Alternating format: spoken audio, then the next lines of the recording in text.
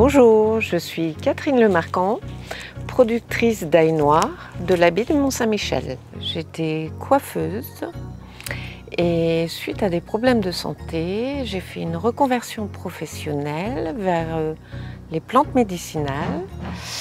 Et ensuite, je suis tombée sur l'ail noir. J'achète mon ail chez des producteurs locaux et de préférence dans la du Mont-Saint-Michel.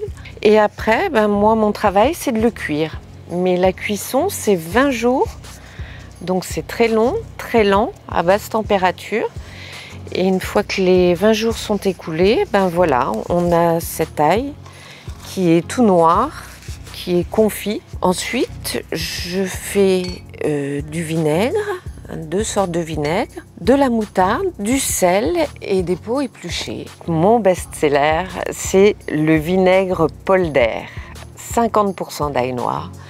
Il est très concentré, très liquoreux, à la hauteur d'un balsamique, mais c'est pas un balsamique, c'est 100% ail noir. Ma moutarde euh, va être 100% Normandie l'année prochaine, parce que j'aurai mes graines de moutarde de Normandie, j'ai mon poivre de Normandie et euh, l'ail noir de Normandie, forcément.